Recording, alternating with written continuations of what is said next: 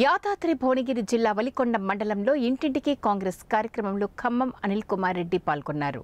ముందుగా ఆయన దుర్గామాత మండపాన్ని సందర్శించి పూజలు నిర్వహించారు. అనంతరం ఆయన మాట్లాడుతూ ముఖ్యమంత్రి కేసీఆర్ గతంలో ఏ ఏ మాత్రం అభివృద్ధి గురించి పట్టించుకోకుండా ఇప్పుడు ఎన్నికలు వచ్చిన తర్వాత అధికారంలోకి రావడానికి అనేక మోసపూరిత వాగ్దానాలు చేస్తున్నారని అన్నారు.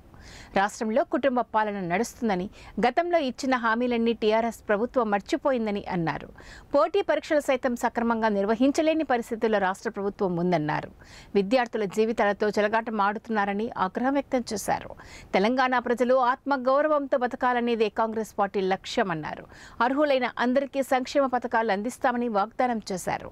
తెలంగాణను ఇచ్చిన కాంగ్రెస్కు ఒక్క అవకాశం ఇవ్వాలని ఈ సందర్భంగా వారు కోరారు.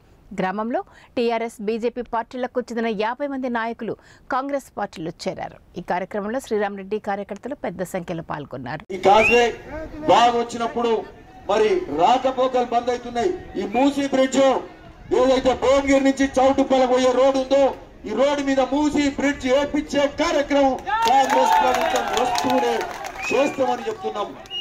ఇదే ధర్మారెడ్డి కాల్వకు సంబంధించిన కల్వట్లు దాదాపు పద్నాలుగు కల్వట్లు ఉన్నాయి. ఆ కల్వట్లను కూడా ఏపించుకునే కార్యక్రమం చేస్తాం.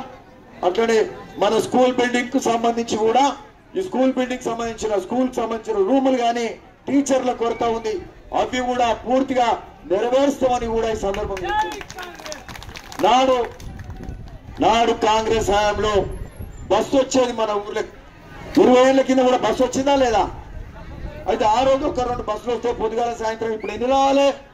నా ఇంకా నాలుగు రావాలి. అభివృద్ధి చెందుతుందా? తక్కువైతుందా? అభివృద్ధి చెందుతుంటే పెరగాలి కదా?